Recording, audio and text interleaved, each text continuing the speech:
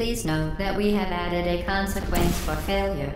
Any contact with the chamber floor will result in an unsatisfactory mark on your official testing record, followed by death. Good luck.